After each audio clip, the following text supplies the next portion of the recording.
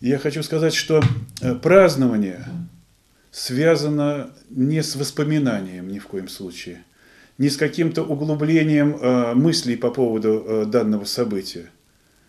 Празднование связано именно с причастностью этого события. Вот если для меня родился сегодня человек, я увидел, я это узнал. Если родился Спаситель. Причем вы знаете что? Родителям только кажется, что дети рождаются один раз. А вот у ваших детей пробудилась мысль.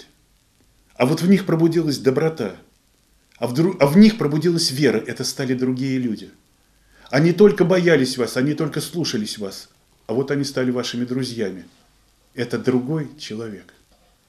Поэтому празднование связано с новой жизнью обязательно. Оно происходит сегодня –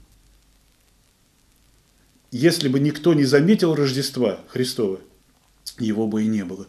Рождество Христово мы празднуем исключительно потому, что его заметили. Оно было нужно. Я в этой жизни способен не на все. Может быть, я не способен на глубокую дружбу. Но если я порадовался вашим глубоким отношениям, между прочим, я тайно вошел в вашу жизнь. Я, мне тоже дружба понравилась. Пусть она у меня не удалась.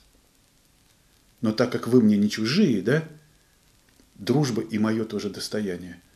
Может быть, впрямую, как увидел Симеон Христа, взял на руки и понял, не страшно умирать. Это раз. Во-вторых, он ничем не связан, он свободен, он ничего не боится. Ему теперь все возможно. И рождаются вот эти слова «ныне отпущаешь». Почувствовать эту свободу даже в современных людях верующих очень-очень непросто. Они не встретились. Но если слова Симеона их задели, вот это семя свободы в них уже живет.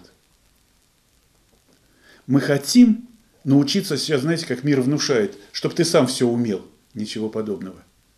Мы разные, мы дополняем друг другу. И руку ты не научишь смотреть как глаз.